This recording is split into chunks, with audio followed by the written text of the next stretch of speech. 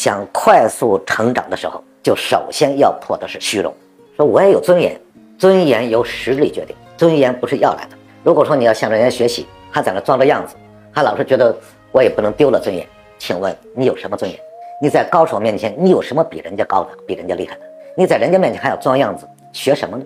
所以这个不要脸说的比较俗，实际上也就是说的不要虚荣，能够真诚的打开自己，放下自己，愿意去做一些好像很普通的事情。比如说一个小老板要成为大老板。那么靠他自己在那一点点涨，肯定很难。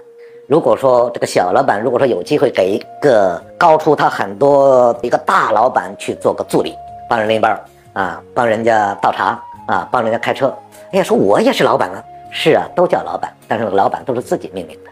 你这个老板比人差着实际上十万八千里呢，你守住那个小，你又怎么能够变得大？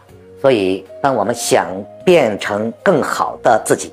唯有放下那些个阻碍自己成长和强大的虚荣，然后我们带着空杯的心去接近高人，高人才会接纳你。因为高人看你就像没穿衣服一样，你在这装模作样，你想接近人家，人家会说你玩去，我干嘛要教你？我欠你的吗？你得用多少东西来感动人家，让人觉得你值得教，值得去帮。所以，当你放不下自己装模作样的时候，你是不可能获得这种机会的。等到你一心。只是在付出的时候，好像也没有求人家给你什么，人家在那里已经在悄悄的给你准备大礼。